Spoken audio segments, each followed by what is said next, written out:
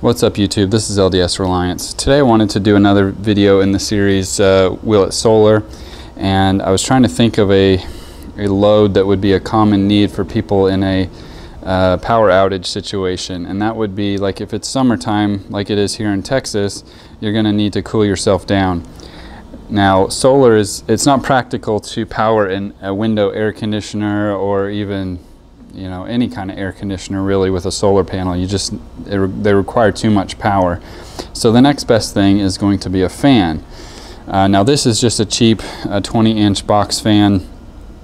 And so this would be very common that people might have um, to try to cool themselves down if their AC in their house was not working. So so most uh, fans like this are going to run off of AC power. So we need our inverter everything else is, is what we normally use. We got our test equipment um, with our our meters on the front. We've got uh, our 100 watt solar panel.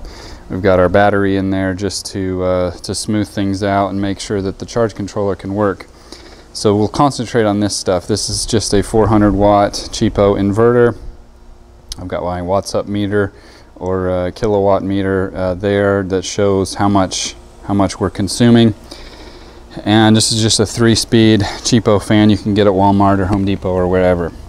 So let's see what happens when we start this up. Now to, to give it an idea of what we're starting with, we've got 13.8 volts on the battery, uh, which is being supplied by the 100 watt solar panel and we and we're consuming 0.7 amps right now. So this inverter is is consuming about 10 watts when it's unloaded.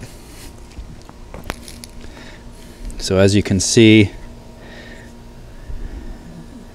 we're not uh, using we're, we're, using point we're using about one watt um, when we're not doing anything here. So let's go ahead and turn it on to to the lowest speed which is the one.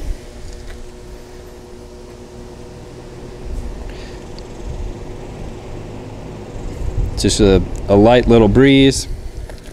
It's using about 55 watts on a constant basis and that did not tax the inverter or the solar panel or anything at all.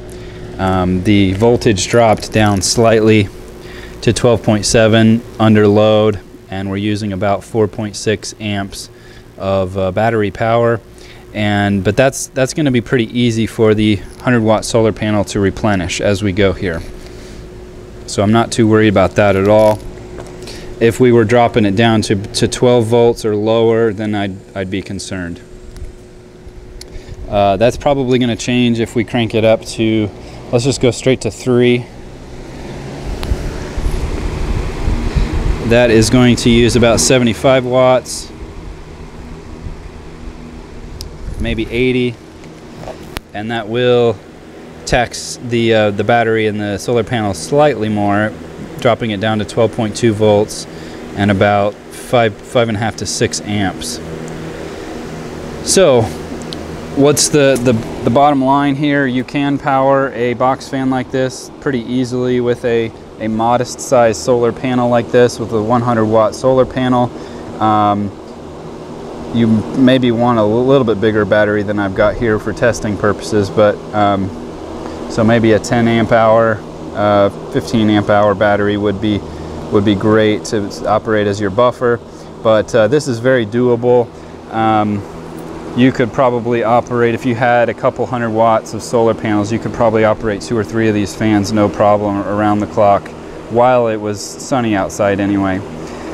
Anyway, uh, hopefully that was interesting to you and, and helpful. I, I wanted to show kind of a common uh, problem that people might have if their power was out and, uh, and you're definitely going to need some fans and, and they're very easily powered with solar. So thanks for watching guys.